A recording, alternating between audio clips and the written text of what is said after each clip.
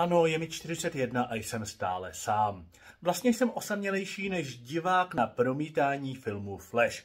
Ale není to pouze z toho důvodu, že by o mě nikdo neměl zájem, ale také proto, že jsem hrozný bručoun, který vedle sebe nikoho nesnese. A jelikož už jsem extrémně dlouho single, dostávám stále ty stejné otázky, které mě vytáčejí víc, než když si schovám poslední kousek pici do lednice na večer, kdy budu sledovat Netflix a někdo mi ho neomaleně sežere. Otázka první. Hele, už ti není 20, nevadí ti, že nikoho nemáš? Ne, opravdu mi nevadí, že nemusím každé ráno čekat hodinu před koupelnou, než si mám milovaná naplácá nový obličej na svůj původní obličej. A rozhodně mi nechybí epické hodinové hádky o tom, že jsem na toaletě poklapal prkénko. Otázka druhá. Nebojíš se toho, že v důchodu skončíš sám?